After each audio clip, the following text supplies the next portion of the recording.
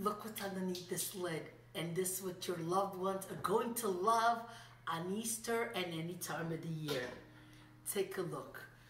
Boneless leg of lamb roasted with potatoes. Hello everybody, this is Alessandra. Today we, we're going to be making a delicious simple recipe with the leg of lamb. It's boneless, you could use it with bone in also, but I found it boneless at the market. Simple ingredients, but such powerful and delicious flavor. Okay, the ingredients are, I have three pound leg of leg, can be anywhere between three and four pounds, garlic, parsley and mint, I'm using baby yellow potatoes. You could use any kind of potato if it's a night or just cut it up. But I like these uh, patate novelle, the new potatoes. They're delicious. Lemon, white wine, uh, extra virgin olive oil, salt, and pepper. I'm just going to show you what the preparation is and we'll get it in the oven. Little trick for the slip sliding cutting board. You see this is not moving.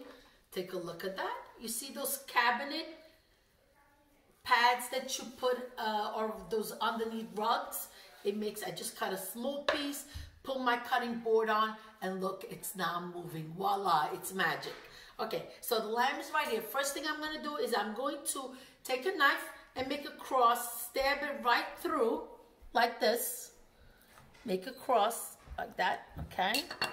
And just slice your garlic in small slivers like this and then you're going to add a little bit of the mint and the parsley all together like that and you're gonna stick it right into that hole you just made.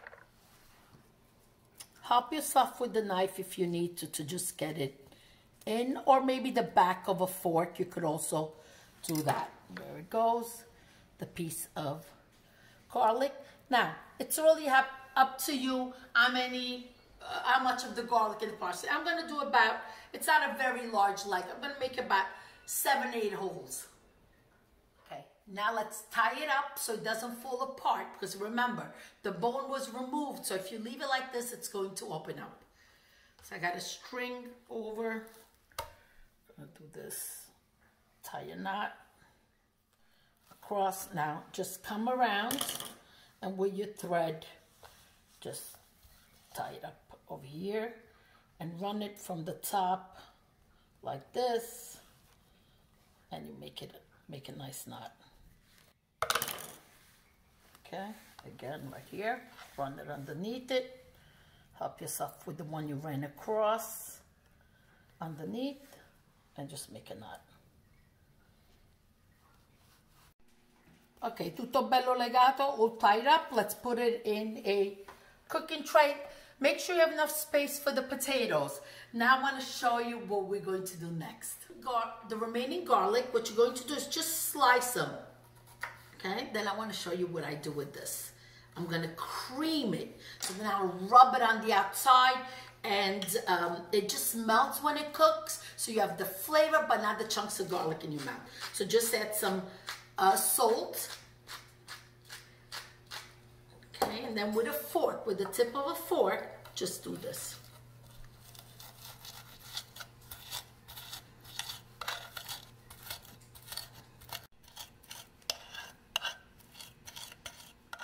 Once you're done creaming the garlic, just add it to a little bowl.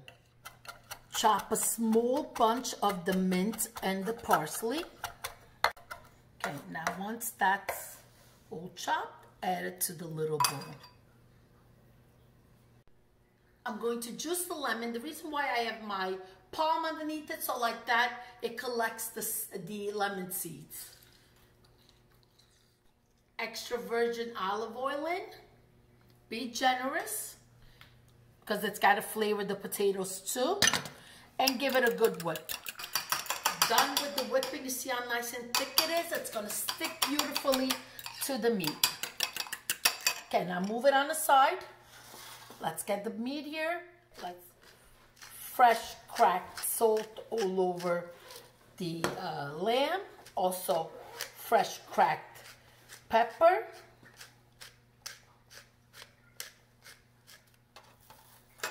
turn it.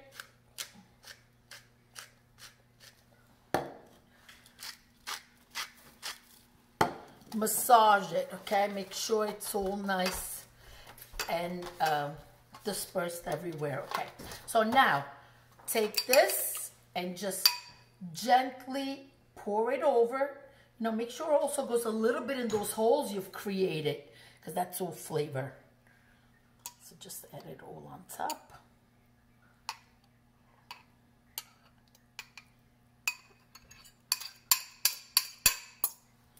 Get your hands dirty, okay? Massage it in like this. You want to get that all that flavor all over. It already smells divine. Ora lo ubriachiamo un poco. We're going to let it get drunk. I have a white wine, okay? A little bit on top, slowly on top because you don't want it to wash off what you just added. So there it goes. Be generous with the white wine because it's going to cook quite a bit in the oven. Now, I'm not adding the potatoes. We're going to add, add the potatoes halfway through. Aluminum foil on. Ecco qua. In the oven, 325, and we'll check back later. Roast out of the oven, it's nowhere near done. But it's halfway through, so we're going to take the potatoes either quarter them or just half depending on the size and we're just going to add it at the bottom of the pan.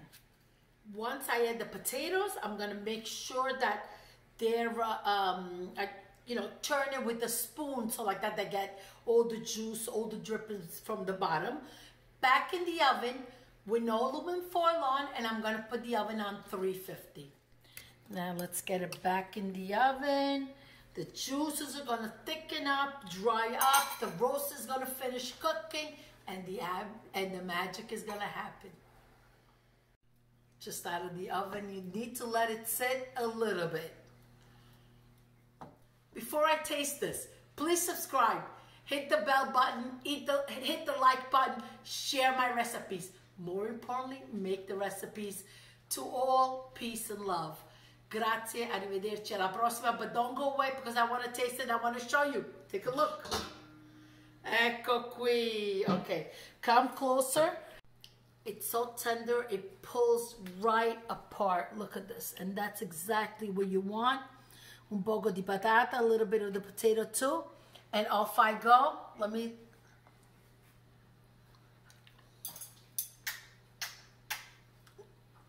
Non posso parlare, I cannot talk, I want to enjoy this. Arrivederci.